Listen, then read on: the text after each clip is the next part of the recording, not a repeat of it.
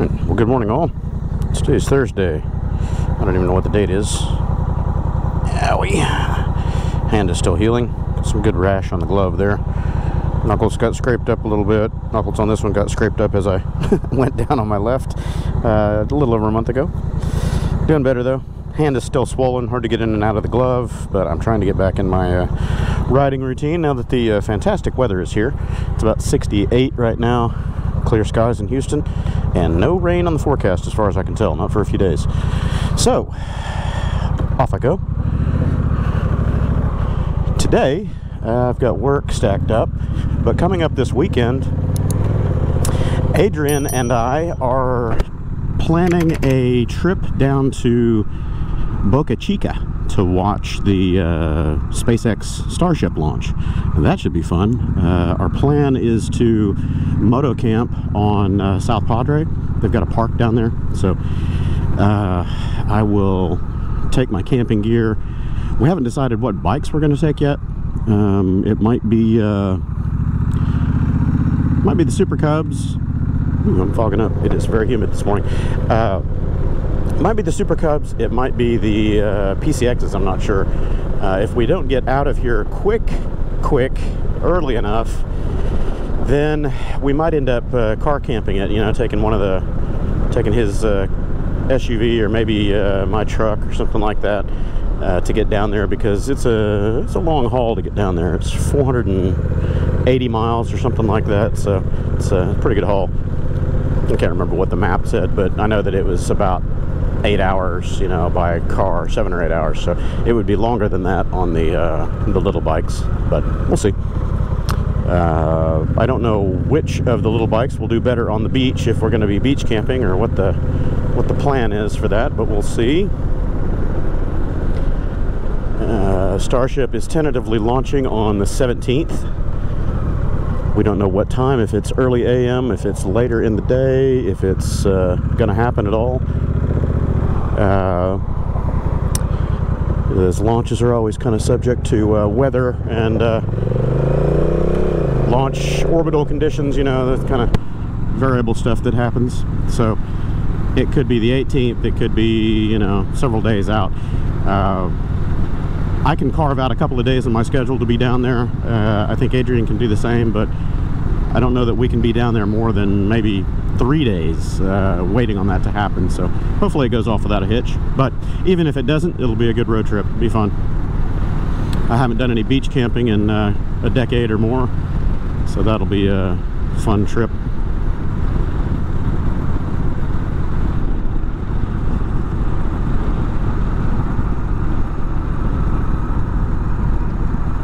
Man, the weather feels good this morning. It's chilly. It feels good. It's nice to have after all the uh, rain that we've had down here for so long. It's been just, you know, if it wasn't raining, it was dreary and damp and nasty. Uh, but we had a solid couple weeks of uh, just off and on rains. Quite a bit of flooding too, but uh, our area out here didn't get flooded too badly. It was mostly the northern parts of town up near uh, above Conroe and stuff like that. The northern part of the metro really got hammered.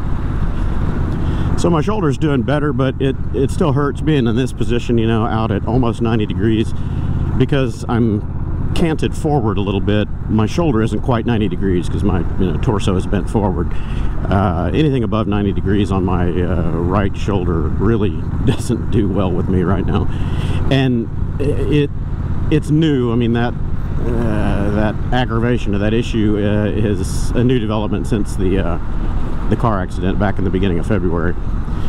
So, I don't know. Hopefully, it's just uh, swelling and nonsense in the shoulder that's going to get better over time. But uh, the uh, MRIs that I had done showed degenerative issues and also obvious accident inflammation, you know, damage and inflammation. So getting old sucks. And I've torn myself up so much over the years, you know, uh, grown to expect a lot of this. And the the funny thing was, the uh, the MRI that I had of uh, my uh, neck, my right shoulder, and my lumbar spine, uh, they found deviation. They found bulge discs in my neck, uh, deviated discs in my lower back, and uh, it's pretty significant deviation. Again, some of it's degenerative, some of it is more inflammation and uh, tweaking from that accident. But the doc got the results back, and he was reading them to me. You know, looking at the screen, looking back at me, look at the screen, look back at me, and he just he said, "How are you still walking around?" and I said, uh, sheer will and determination, sir. so basically, uh, I've got, I don't know what it was, uh, four to five millimeter deviation in the uh, bulge discs in my neck, which is significant. Uh, not irrecoverable or uncorrectable, but significant. Uh, the worst one was my lower back. I've got uh, three or four discs that are out of alignment in my lower back, and those are out by six to eight millimeters. And uh, the in both cases, uh, cervical spine and lumbar spine, the uh, spinal cord is being impacted a little bit, so it's being compressed, and that's causing, you know, numbness and tingling and problems. You know, like hand is numb out here on the right side and all that. But he said normally people that have about six millimeters of deviation are uh, going in for surgery or to have their uh, uh, vertebra fused, you know, to eliminate pain and all that. I don't know. I'm just working with it, man. So they're always asking me to rate my pain. You know, what, is your pain level and blah blah blah. And, and I, it's hard for me to answer that because I tune it out, so I don't really know. Uh, you know, it's all relative, it's subjective. So uh, I just live at a particular pain level, and it's only when it spikes up above that, you know, threshold that it gets my attention. So by the time it's, you know, by the time it's grabbing my attention, it's it's pretty pretty high up there when we're talking about, you know, spine and uh, back and neck pain because I just turn it off. Anywho, so that's the uh, the health report. I'm doing better, but it's going to be a slow progress or slow uh, recovery over time uh, with modified exercises and uh, potentially some therapy treatment uh, in the way of uh, aided chemical assistance. Uh, I, I, don't like doing pain pills or any pain medications. I think that's a bad idea. but I might do uh, cortisone in my shoulder. Uh, I wouldn't want to do that in my lower back. I don't know what the complications there are. Uh, or my neck for that matter. I don't want anybody poking around near my spine. So uh, I have a pain management uh, appointment today around noon and uh, I might go that route. they're going to give me recommendations. I'll see what the see what the consensus is. Uh, but I think if I end up doing any kind of injections, I'll probably look for the new, uh, they call them core cells, basically stem cells, uh, and it's a regenerative therapy. Uh, but that's like crazy expensive, and it's elective, so even if I had insurance, which I don't, insurance would not pay for it. Uh, it's like 16,000 bucks for a a three or four week treatment or whatever it is. But uh, apparently, that's kind of the new thing in uh, cutting edge medicine, where you know athletes and you name it, anybody that's got enough money to do it, uh, that's the way to go because it actually rebuilds the cartilage and uh, the myelin sheath around the nerve channels, you know, the spinal column and all that. So that's the way to go. I'm not a proponent for any kind of uh, stabbing in my body. I don't like I don't like needles. I don't uh, don't care for any of that if I can avoid it. Okay, dude, if you're not gonna go, I'm gonna go.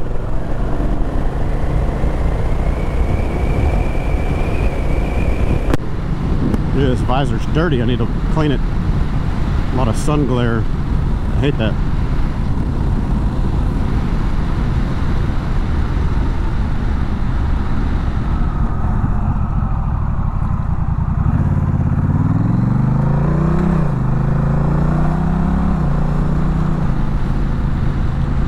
Sit behind that, I'm going to get hit. In the shadows right there with the sun blaring in the front, that's a bad combo. I-10 is packed this morning.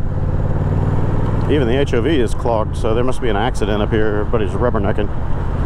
Or it could be somebody pulled over. Every time someone gets pulled over for cheating in the HOV here, it backs up traffic in all lanes. Why? I'm not making no sense. Separated lanes, it's not involving you, keep on rolling. Yep, stalled car, an accident. Okay. So as far as the other trips uh, this season, I it doesn't look like I'm going to be able to do the Life of Birch. I wish I could, but I don't think the timing is going to work out for that. And I'm not 100% sure on the Barber small bore either. Uh, my work and finances are still kind of tight, so I don't know if I can swing those or not. Uh, what I'm probably going to do is sell a couple of the bikes to finance the trip for the Cannonball. I've got uh, my Ducati Monster that I, I, like it, but I just don't ride it that much, so I might let go of it. Uh, the Rikers is on the chopping block. So those two are probably going to go, and you know that'll finance my month of not working, basically. Offset my costs for uh, doing that trip, but I don't know about uh, timing for the rest of it. Hey guys, pay attention. I'm nailing the brakes for no reason. Ooh, it's going to be one of those mornings.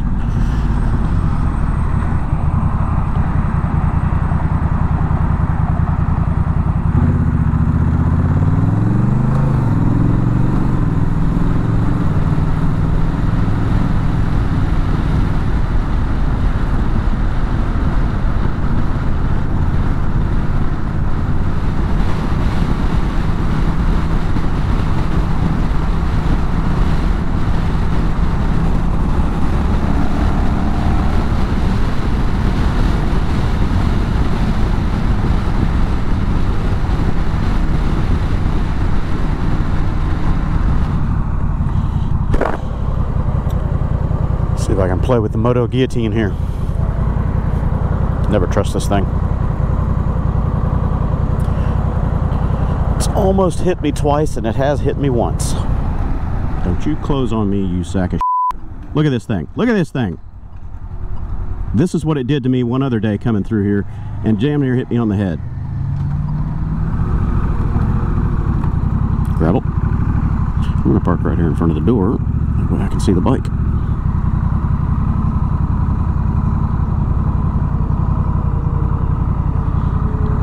Uphill. Come on, pig.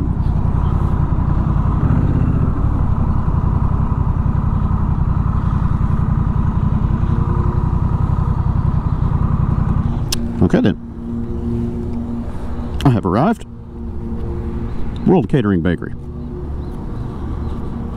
I'll catch you all after uh, breakfast. Maybe uh, later in the day for my return commute. All right, well, breakfast was very good. This is a great little place for sitting down. Usually it's pretty calm here. Uh, they have their busy days, but today was pretty, pretty slow in there. Nice and quiet.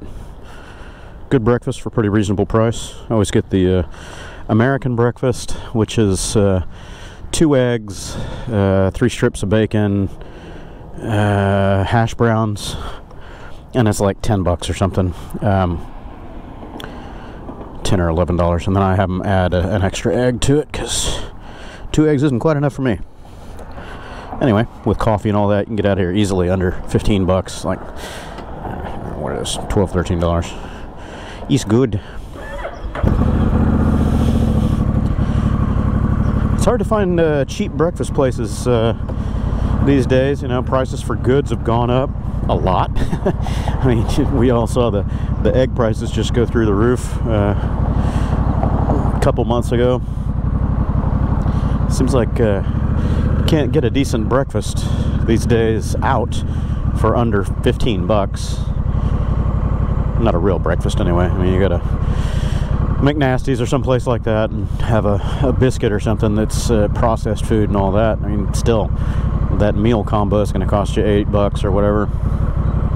I would rather spend a couple extra bucks and get a fresh cooked food, a little bit healthier at least, I would hope.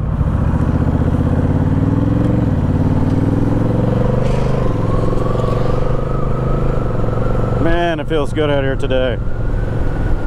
This weather is perfect. I haven't even looked at the forecast. I know it's clear for the next several days, but I don't know what the high temps are. I think 80 maybe. And right now it's still high 60s. feels good out here.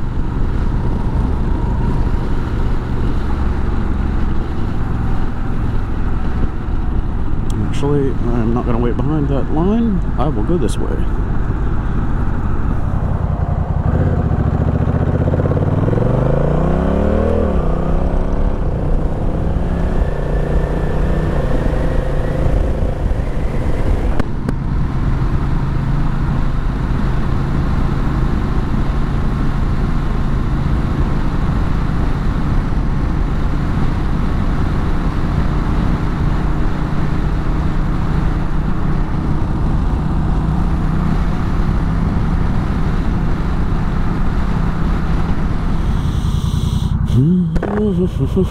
Man, I wish I did not have to work today. Go out riding instead.